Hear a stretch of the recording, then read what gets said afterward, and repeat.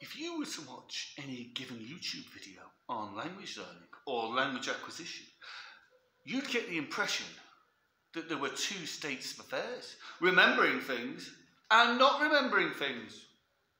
And that remembering things was memory and not remembering things was not memory. But is it as simple as that?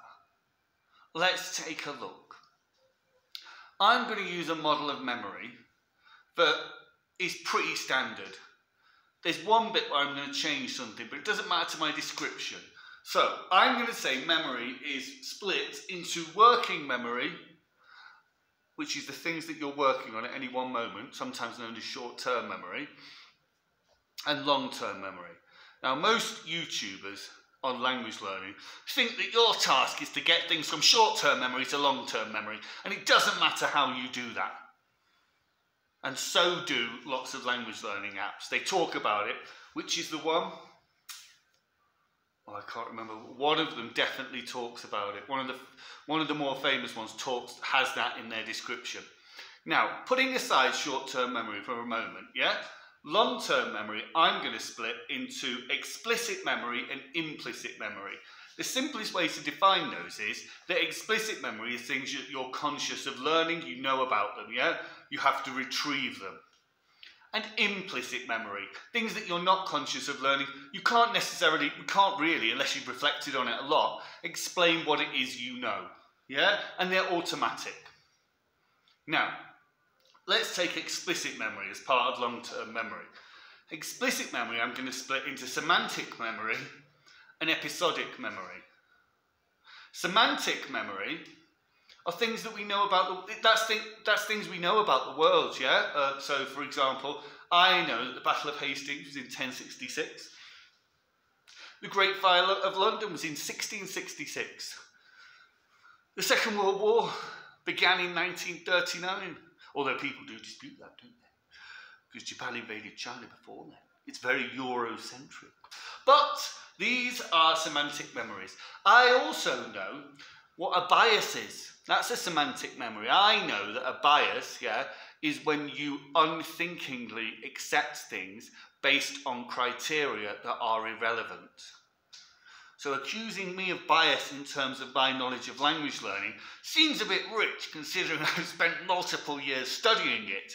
You may not agree with me, but it's not necessarily a bias. Sidetrack there. So, um, yeah, so those are all, that's all semantic memory. That's knowledge that I have of the world. Yeah? Then there's episodic memory. Remembering things that happened in my past. This is, you know, you don't remember everything, no? And the things that you do remember, you generally remember because they're quite distinct or unusual or different, yeah? So saying, I remember that time I learned that somebody corrected me and that changed my language.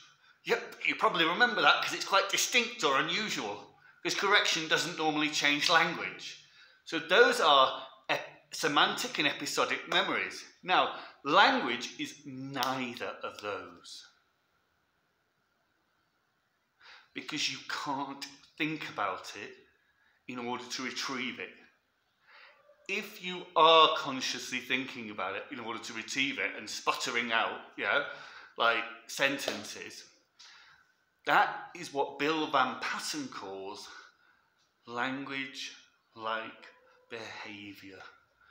It is not it is not implicit knowledge of language, which we're going to move over to. Yeah? Now, I'm going to split, I think this might be controversial. I'm going to split implicit memory into two. I think it's like procedural things, which I would count languages under. Yeah? Things that knowledge, that is knowledge, no? It's not the same as habit. Yeah? Now, this is where we have to come in. Pavlov, yeah, when he got that dog to saliva because he rang a bell, that's a habit. Yeah? Skinner, the behaviorist, thought, now Pavlov was talking about classical conditioning. Skinner's talking about operant conditioning. It's a different process. Yeah? one of them's just as training and association. The other is through feedback, create through positive and negative feedback and repetition, creating a habit. Language is neither of those things. So, what's the other type? It's procedural knowledge. This is a type of implicit knowledge, unconscious knowledge that you use when you speak a language that I'm using now. Yeah?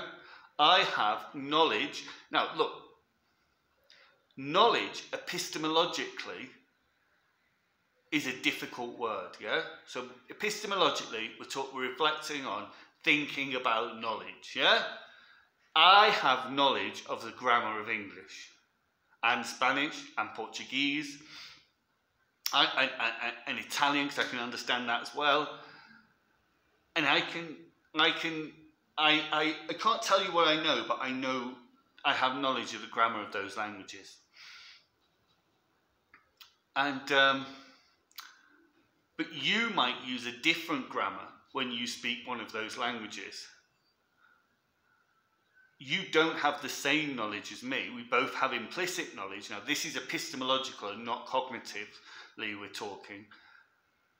And that's why, really, you should add an S to the end of the word knowledge and form knowledges. The same with semantic memory. It should be knowledges and not knowledge. Why we say knowledge is because we're all very Euro Eurocentric.